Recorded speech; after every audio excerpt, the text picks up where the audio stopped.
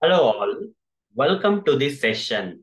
In this session, I'm going to answer one of the Selenium interview questions.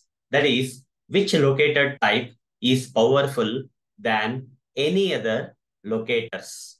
Let me answer. First of all, we have different type of locators like ID locator, name locator, class locator, link text locator, CSS selectors locator, XPath expressions locators. Okay. Out of all these locators, XPath expressions are powerful. Okay. Out of all these locator types we have, which is powerful?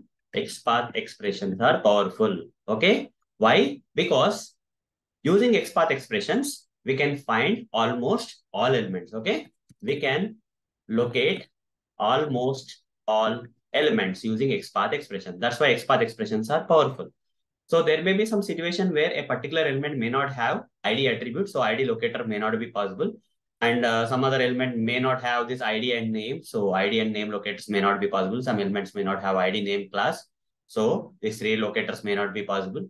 And uh, some uh, some elements may be there who, uh, which are not IDs, name, class, and also they are not hyperlinks. So link text is possible only for hyperlinks. Okay. If the elements are not hyperlinks, then these four are not possible if they don't even have these attributes also. Okay. Then only two viable options are CSS selectors and XPath expressions. In that, XPath expressions are powerful because of a concept known as XPath axes. Okay. Because of this XPath axes, okay, because of this XPath axes, XPath expressions can locate any element on the web page. Almost all elements can be located, okay? By XPath expressions because of this XPath axes. And this is a final savior for everyone, okay?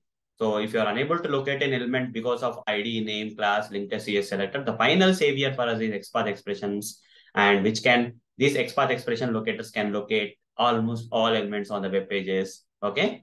And uh, that is possible with the help of XPath axes concept in XPath expressions or different type of XPath axes available in the XPath expressions. What are the different XPath axes available?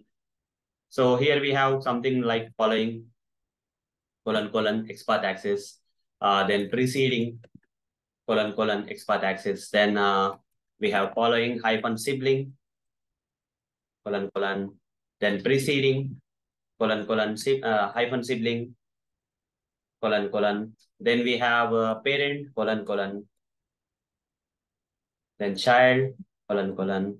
Then we have uh, ancestor ancestor colon colon. Then we have descendant, descendant, colon colon. Like this, different type of XPath axes exists in uh, XPath expressions, because of which only XPath expressions are powerful, powerful locators out of all the locator types we have, and we, because they can locate almost all elements on the web pages. So hope guys you got the answer for this question in this session. So that's all for this session. Thank you. Bye bye.